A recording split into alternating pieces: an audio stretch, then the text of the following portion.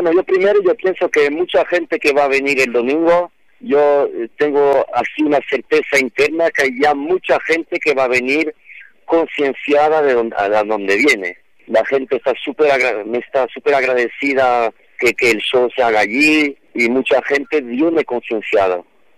Y también evidentemente capaz que habrá mucha gente también que venga pues para el show, ¿no?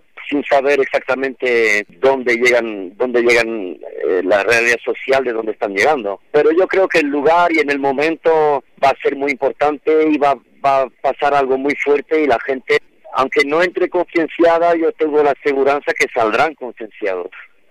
Yo creo que se trata de eso, ¿no? Que, que la gente que ya viene con, con la idea clara de lo que vienen a apoyar, es súper positivo, pero que también que venga gente sin saber, pero luego añadiéndose a, ese apoyo y que sean más y más y más los que se conciencien de lo que es sano, de lo que es esa lucha y de la viabilidad de esa lucha, pues eh, yo creo que es algo que, que tiene que llegar a ser positivo.